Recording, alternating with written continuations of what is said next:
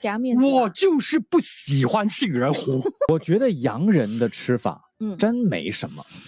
你看呢？你你看，你看 刚才看你的表情，哦我跟你哇讲林轩每次谈到什么什么食物，我每你就很我每天兴奋早上很期起来第一件事就是在期待，就就在想我等一下要吃什么，真的吃货奇奇没。有，好像这就是我今天才发现，好像是我唯一活着的一个寄托，因为我真的是大口大口吃，我不会只是咀嚼，然后就放下筷子了，然后为了节目效果就做特效，我真的是吃到让跟我一块约吃饭的朋友或是同事都喜欢跟我吃饭，我的食量也大，让。